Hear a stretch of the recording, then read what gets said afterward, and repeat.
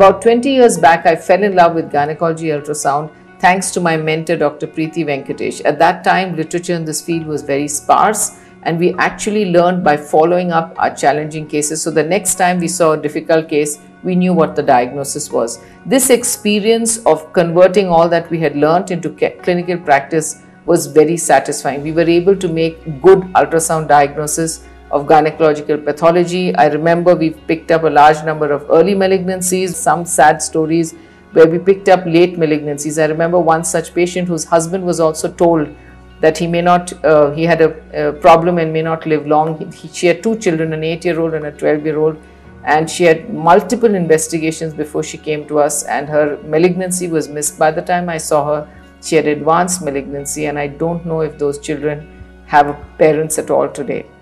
Um, not all stories are sad. Some of the couples call me up at New Year and tell me that they're very glad they're together, they're healthy because of the early diagnosis of malignancy.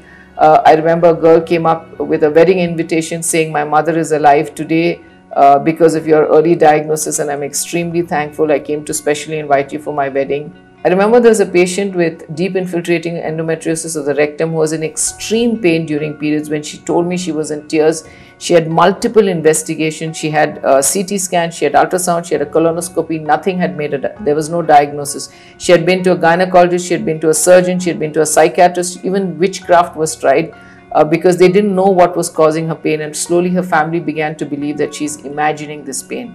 So, when I made a diagnosis and I told her that's the cause for her pain, she cried, she hugged me, and she said, Doctor, I don't know if there's a treatment for this, but I'm so glad you made a diagnosis. At least I can tell my family I truly experienced that terrible pain and I was not imagining it. So it's it's a great uh, satisfaction to be able to make a right diagnosis because unless we make a right diagnosis, treatment can never be appropriate.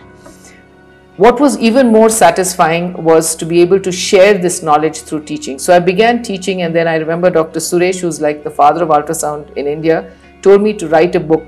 And so I did write a book, and uh, I didn't know how good the book was until Professor Lil Valentina, you know, expert in this field and world-renowned person, wrote a beautiful review. And I remember on reading that review, I was really in tears because I felt that all that I had learned from my patients I was able to share with the rest of the world now, and many more women in the world could be benefited through it.